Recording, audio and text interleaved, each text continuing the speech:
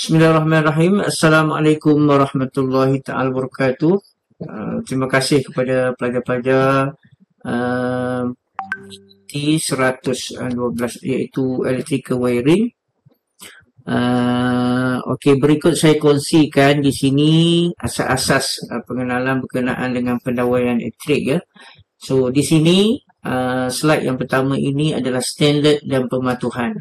So ini adalah beberapa buku rujukan ataupun garis panduan yang kita gunakan untuk uh, membuat pendawaian sama ada bangunan, uh, rumah, okay, domestik ataupun industri di luar sana. Antaranya adalah Akta Bekalan Elektrik 1990, Panduan Teknik, ini panduan garis panduan JKR.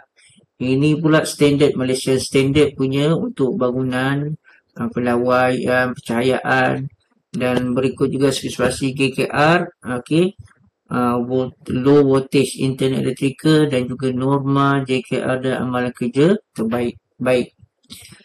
Okey, ini berkaitan dengan voltan nominal di Malaysia iaitu penggunaan voltan masukan supply daripada TMB kepada rumah-rumah kita ataupun masuk kepada industri dan sebagainya. So, dari segi penggunaan water supply di Malaysia ini ada dua. Yang pertama, fast single phase. Yang kedua adalah three phase. Okey, saya ulang. Yang pertama, single phase bekalan satu fasa. Dan yang ketiga ini adalah bekalan tiga fasa. So, bila kita bercakap berkenaan berkenaan bekalan satu fasa dalam kepala pelajar-pelajar, kena tahu satu fasa ini ada berapa kabel yang masuk yang diperlukan untuk pendawaian. Begitu juga dengan bekalan tiga fasa. Okey, kalau bekalan single phase mesti ada satu line hidup, satu line neutral dan selebihnya adalah wayar pembumian. Begitu juga dengan tiga fasa, pelajar-pelajar perlu tahu. Okey, kita ada red, yellow dan blue. Okey, tiga fasa hidup, satu fasa neutral. Dan selebihnya satu lagi adalah fasa pembumian. Okey. Jadi bermula 1 Januari 2008. Okey, bermula Januari 2008 fasa single phase. Okey, dari segi nominal voltage-nya adalah 230 volt dan julatnya tolerannya adalah negatif 6% dan plus 10%. So kalau plus 10%, 0.01 plus uh, okay, uh, 230 uh, kita kali dengan 0.1%, okay, sama dengan berapa?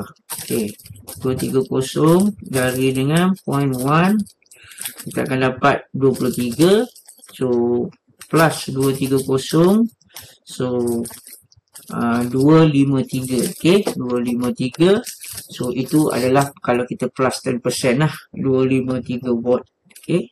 Dan kalau bekalan 3 fasa kalau 400 watt nominal plus 10% so 400 darab dengan 0.1 okey? So tambah dengan 400 dia maksimumnya adalah 440 dan kedua-dua ini menggunakan julat frekuensi 50 Hz plus minus 1% dan kan daripada standard Malaysian Standard IEC 638-2006 IEC. Okey. Dan ini pula adalah ada segi tahap voltan. Ada lima pembahagian. Ah, okey, extra low voltage below 50 volt, low voltage 50 hingga 1 kV, medium voltage 1 kV hingga 50 50 ke 230 kV adalah high voltage dan voltage amat tinggi adalah uh, sudah tentu 230 kW ke ke atas. Yang ni awak kena tahulah ambil ambil minta apa makluman.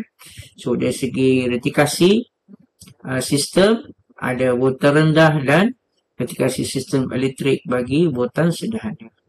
Baik insyaallah Nanti pada video akan datang kita akan melihat bagaimana sistem retikasi low voltage dan sistem retikasi uh, voltage sederhana. Baik, insyaAllah kita ketemu lagi.